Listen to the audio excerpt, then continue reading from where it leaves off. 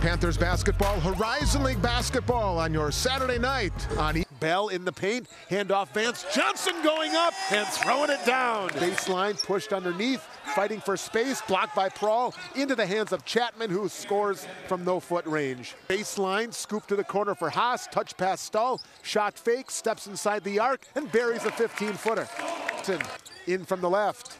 Out for the top. Hogan drives strong to the block on the right. Now turns, fades, and hits a six foot jumper.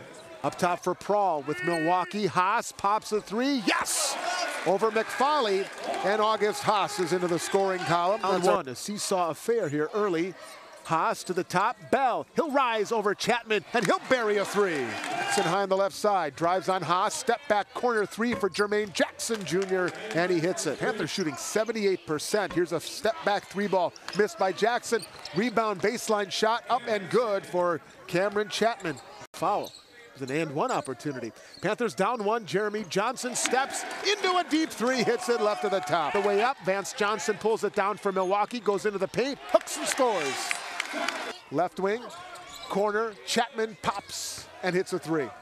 Seven, it feels worse than that though. Transition, Allen three and he hit it. Hogan giving him nothing, he'll kick it out. Carson Warren Newsom a deep three and he hit it. Prahl fighting, can't get the rebound. And here comes Detroit. Here comes Jermaine Jackson into the paint on a triple team. And Bryce got the block. Stull, three, yes! Sent shooting. Stull, corner, three ball, pocket, in and out, and back in again! Johnson right to left. Inside bullet pass, and Prince throws it down. Deflected by Vance Johnson out for Prahl. Deeper to Barnes, who buries a three. Picked up by Warren Newsom. Panthers push. That's what Baldwin wants. Haas to the 10. Low on the left, and the layup is good. Panthers go back ahead, 56 54. Three ball is good from the top of the key. Short again. Prahl bats it to Nze, who goes up and throws it down.